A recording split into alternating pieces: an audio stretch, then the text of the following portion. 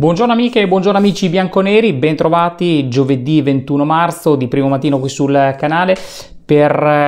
eh, un contenuto eh, il cui protagonista è Max Allegri, ma non scappate perché pur comprendendo che l'argomento Max Allegri possa aver stancato, sappiate che terrà banco ancora per un bel po' di tempo, nonostante in fondo alla stagione resto convinto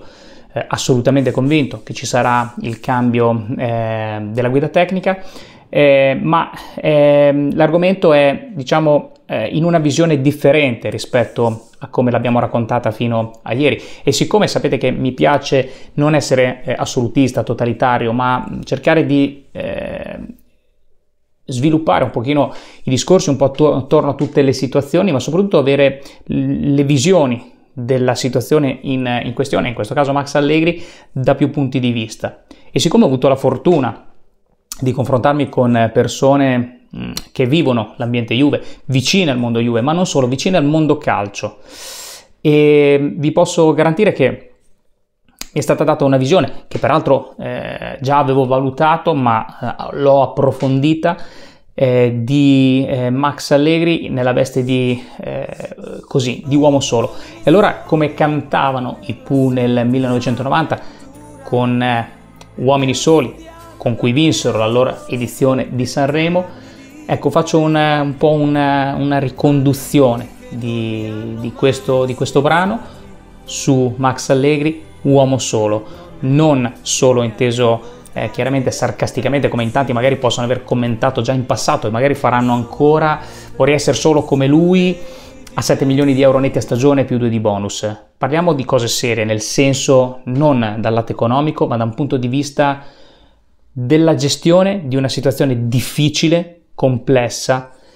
nella quale, come già più volte abbiamo sottolineato anche su questo, eh, su questo canale, la Juve eh, è una società oggi una, con una proprietà particolarmente assente. Allora sviluppiamo tutto questo, mi raccomando, iscrivetevi al canale, azionate la campanella notifica e mettete un bel pollicione verso l'alto in fondo alla puntata, sperando che questa possa essere stata di vostro gradimento.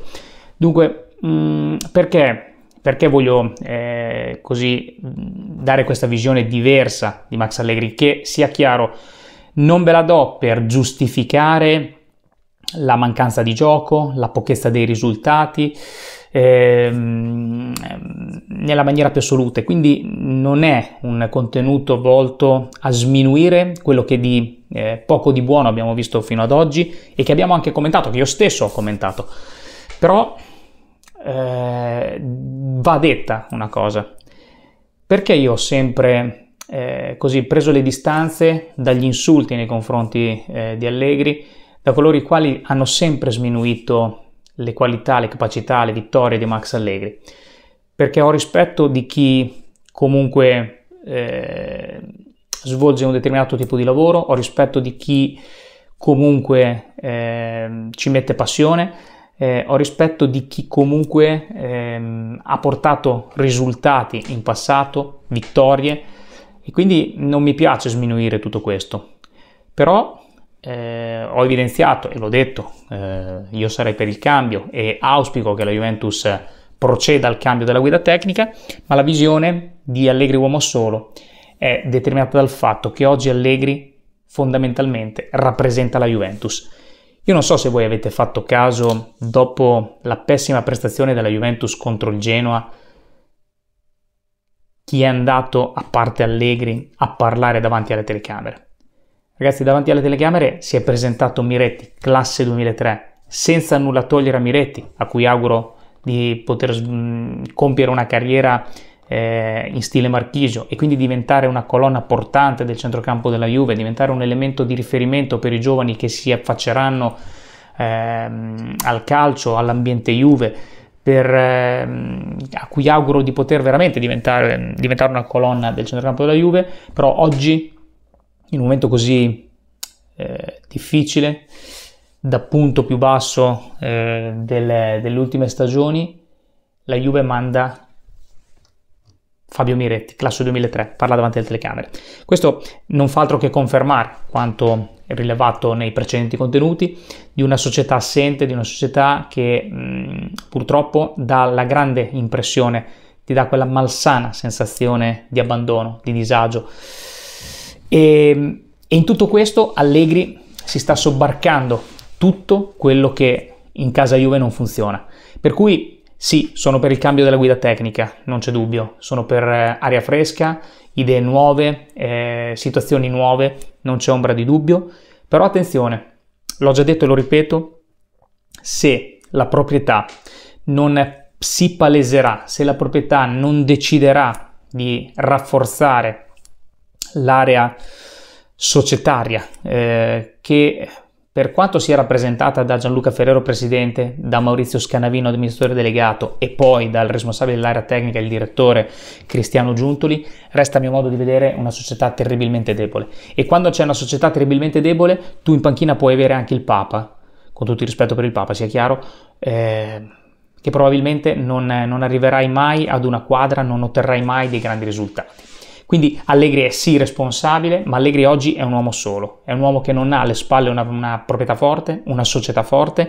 e che si sobbarca tutte le problematiche e che quindi questo sobbarcarsi tutte le problematiche lo ha reso nervoso quando ha dovuto gestire la questione eh, relativa all'inchiesta Prisma, al plusvalenza e quant'altro, punti di penalizzazione e quant'altro.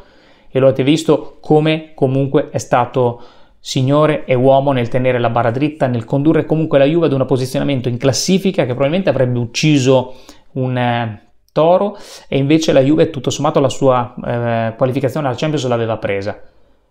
Ribadisco, non sono qui a difendere Allegri, sono qui per dirvi che ovviamente dopo anche eh, tante chiacchierate private eh, mi è stato detto appunto che Allegri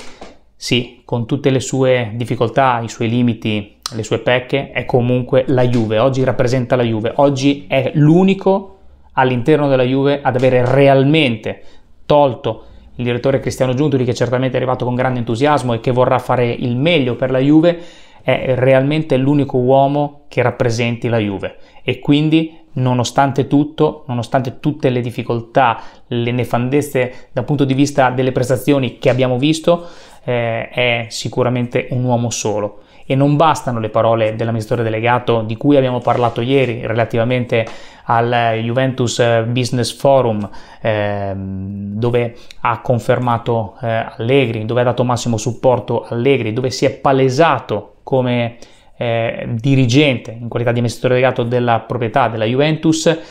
a far sì che eh, ci sia una società forte alle spalle. Perché non è la figura di Scanavino, non è la figura di Ferrero, senza nulla togliere agli Scanavino e Ferrero la figura di una società forte. Alla Juve manca tremendamente una figura qual era in passato l'avvocato Gianni Agnelli, qual è stato il dottor Umberto Agnelli, qual è stato Andrea Agnelli. Perché non so se vi ricordate, quando dopo AIFA Andrea Agnelli andò davanti ai microfoni a parlare in qualità di presidente, ma in qualità di uomo Juve, di vero uomo Juve. Oggi John Elkan tanto per fare un nome. Lo avete visto palesarsi nei momenti di difficoltà a rassicurare, a battere i pugni? No, non, è, non c'è oggi